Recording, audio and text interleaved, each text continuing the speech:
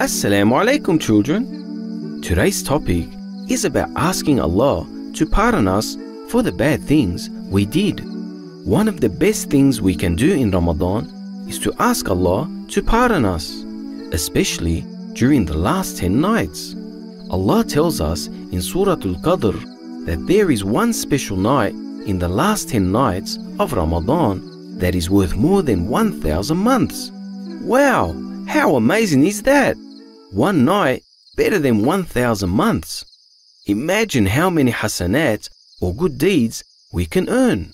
How about we learn one special dua that we can make during these nights? Muhammad sallallahu alayhi wasallam taught this dua to his beloved wife Aisha radiyallahu anha. The dua is Allahumma innaka afuun tuhibbul afwa fa'fu anni. This means, O Allah, you are the one who pardons. You love to pardon, so pardon me. Allah loves to forgive us and pardon our mistakes. So we should try our best in Ramadan to make this dua as much as possible, especially in sujood.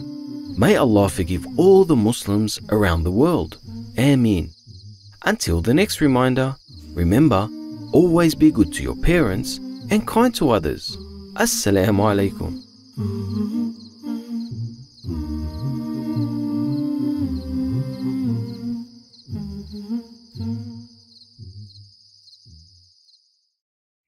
Dear parents, there has never been such a huge need for Islamic animated films for your children as there is now.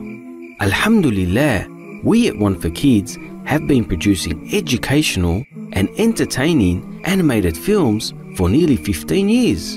And inshallah, we hope to continue for many more years to come. But to do so, we need your support. The best way to support our work is to subscribe to our channel, oneforkids.tv, sponsor an episode, or purchase our products. Remember, whatever you spend will be a sadaqah jariyah for you because we will use the funds we raise to make more fun and exciting animated films for your children. At a time when there is no shortage of inappropriate content, while Islamic content is rare, we need your support more than ever. Please spread the word to all your family and friends.